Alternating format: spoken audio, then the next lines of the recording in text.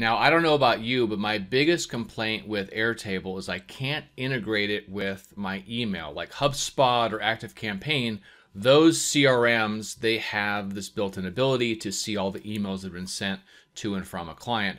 And so I've done a little hack here that's actually quite simple. Let's jump right into it. And we're literally just going to build this on the fly. So you can see here a number of leads. You could also do this for your clients. I'm going to create a new record here in Airtable. And I'm literally just going to call this view emails. And the type is going to be a button.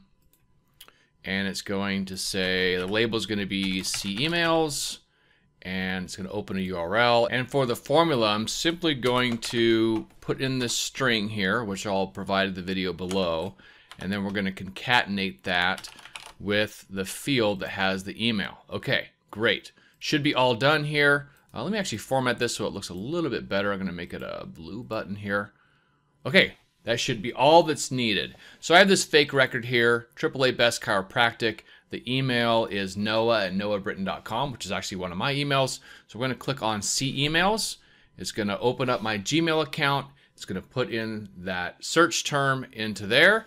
And there it is. Here's all the emails back and forth between noah at thrive.design and noah at noahbritton.com. So there it is, a very simple way if you are using G Suite to see the emails back and forth with a client or a lead. Enjoy.